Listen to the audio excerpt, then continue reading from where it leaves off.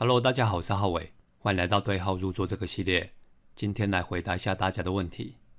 第一个问题，有网友问说，他想要知道汇桥这档个股的看法，因为这一年多来有客户流失、增资，加上又有负债升高等问题，不知道是不是还值得继续持有。再来第二个，网友说他目前持有十张的长薪，因为近期减资的关系，想知道该续报还是卖出。关于这两个问题，稍后我也会来分享一下自己的看法。还没有订阅的人，请帮我按一下订阅哦，谢谢啦。首先，关于汇桥的部分，刚才前面有提到这三个疑虑。第一个是客户流失，从财报上可以看到，去年的营收四点六六亿中，前三大客户就占了超过五成。如果用风险分散的角度来看，那么这个数字的确是有偏高一点。而从先前发布的讯息中，确实是有客户因为受到疫情以及俄乌战争的影响，不再续约。比重虽然不到一成，但是从这边也可以知道，公司的客户如果过于集中，那么在这种大环境不佳的情况下，就比较容易产生令人担心的状况。那在发布的讯息中也有说，这件事对公司的业务以及财务上并没有重大的影响，但还是可以发现，以现在的国际形势发展。对公司的获利稳定性上面也将会面临相当大的挑战，因此接下来要观察的重点就是这几个主要的客户能不能继续贡献稳定的营收，可以的话就不至于造成获利有太大的影响。再来第二个是现金增资，这个是我觉得算是目前比较严重的问题。怎么说呢？通常会需要办理现金增资，不外乎有几个目的，像是用来创造更多的获利，偿还借款。以及增加手上可运用的现金等等。那以汇乔这个例子来说，最明显的就是手上的现金已经不太够用。从财报上可以看到，最近一季的现金只有七千九百万，连一亿都不到，比几年前的五亿、三亿已经减少了相当多。而现金不够，当遇到问题的时候，就会面临无法处理的情况。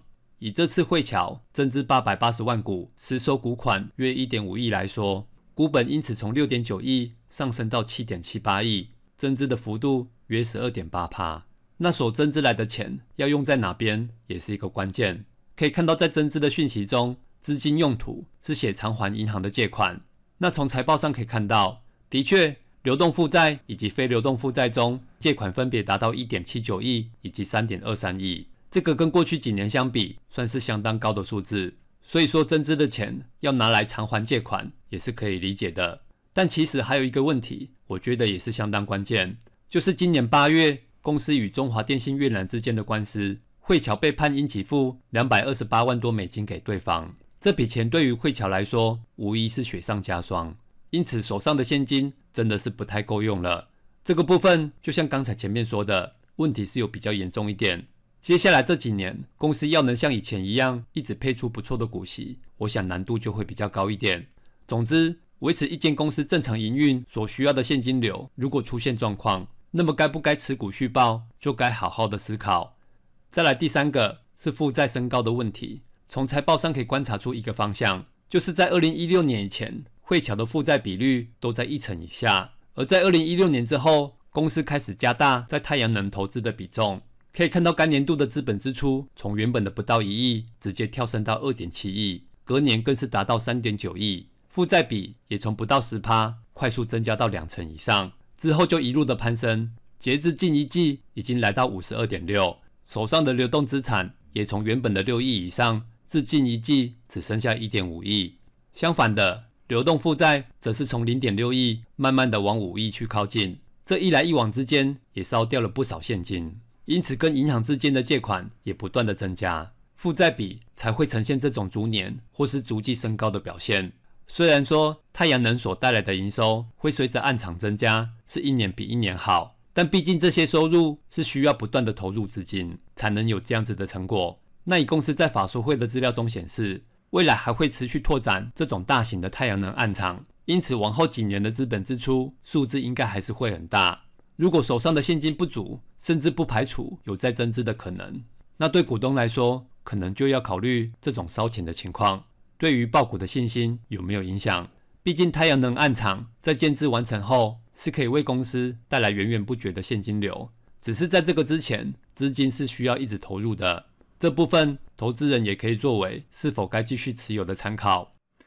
再来第二个问题，网友问说，长兴最近有减资，那在减资后，股票是该续报还是卖掉呢？说到减资，就要先了解公司为什么要这么做。这种通常会有几个目的，例如公司手上的现金太多，那么多余的就可以返还给股东。再来还有像是回购股票以及弥补亏损等等。而在减资后，主要会呈现几个特色。分别是股本变小、每股净值提升，再来则是达到优化财报的作用。至于长兴减资的原因，以公司的说法，是为了提升股东权益以及调整资本的结构。不过这边可以看到，其实减资的幅度并不算多，只有五帕而已。因此这次的减资影响程度并不算很大。而且我觉得，不管是增资还是减资，最后还是要回到公司是不是还能保持稳定的获利。如果可以的话。那么相信在增资或是减资完，对股东来说依然可以带来不错的报酬表现。反之，要是原本的财务已经有一些问题，那么即使经过资本结构的调整，相信也很难带来明显的改善。若单纯以长兴过去这几年的财务状况来看，那么续报应该是没什么问题。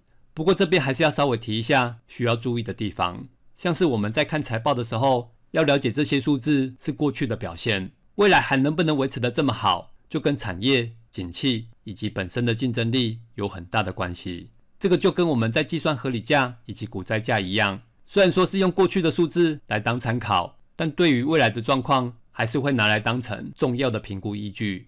例如今年以来，半导体产业受到重创，因此许多公司的估价就会因为状况不好而持续的被下修，有可能现在的股价已经跌到股灾价。但下次获利公布，却又因为表现不好而再往下修正合理价。如果买到的是越来越差的公司，那么就会出现越跌越买、越买越套的情况。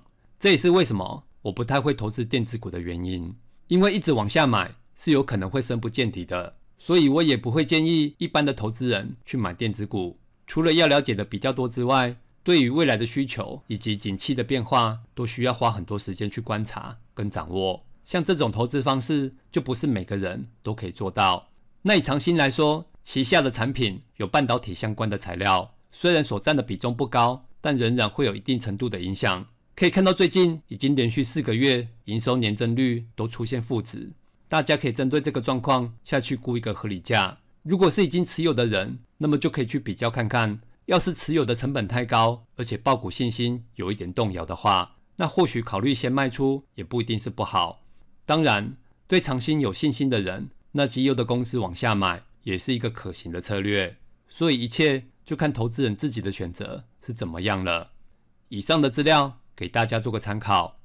关于今天影片中有谈到的汇巧以及长兴相关的财报资料，在影片结束之后，我会把档案放到会员的社群里面，有需要的人可以去下载来研究。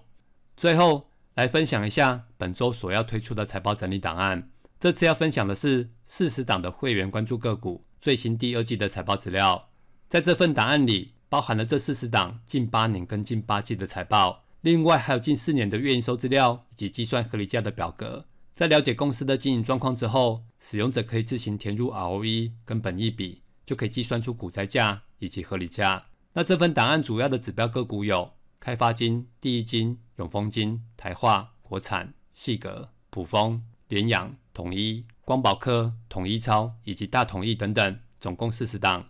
取得这份档案的方法很简单，只要你是频道会员，可以直接到专属的社群里面去下载，是免费的。如果还想了解其他的个股，也可以在会员的社群里面投票。每个星期我会把大家想要看的资料整理成一份档案。如果你对财报学习或是计算合理价有兴趣的话，欢迎加入频道会员哦。好，如果大家还有任何问题，可以在影片下方留言。还没有订阅的人，记得帮我按一下订阅哦。今天的影片就先到这边，我们下一次影片见，拜拜。